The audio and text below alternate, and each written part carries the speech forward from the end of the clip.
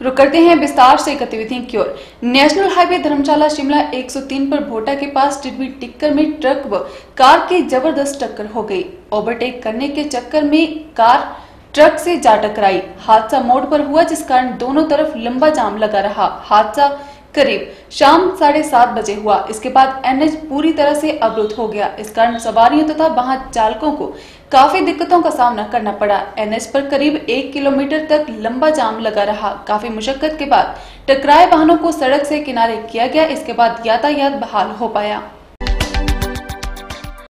National highway Dharamshala Shimla 103 पर भोटा के पास डिरमी टिक्कर में ट्रक पर कार की टक्कर हो गई। ओवरटेक करने के चक्कर में कार ट्रक से टकरा गया। हादसा मोड़ पर हुआ, जिसके कारण दोनों तरफ़ लंबा जाम लगा रहा। हादसा शाम करीब साढ़े सात बजे हुआ। इसके बाद एनएच पूरी तरह से अवरुद्ध हो गया। इस कारण सवारियों तथा वाहन चालकों को काफ़ी दिक्कतों का सामना करना पड़ा। एनएच पर करीब एक किलोमीटर तक लंबा जाम लगा रहा। काफ़ी मुशक्कत के बाद टकराए वाहनों को सड़क से किनारे किया गया। गया इसके बाद यातायात बहाल हो पाया। जानकारी के अनुसार निगम की बस शिमला से हमीरपुर की तरफ़ जा रही थी।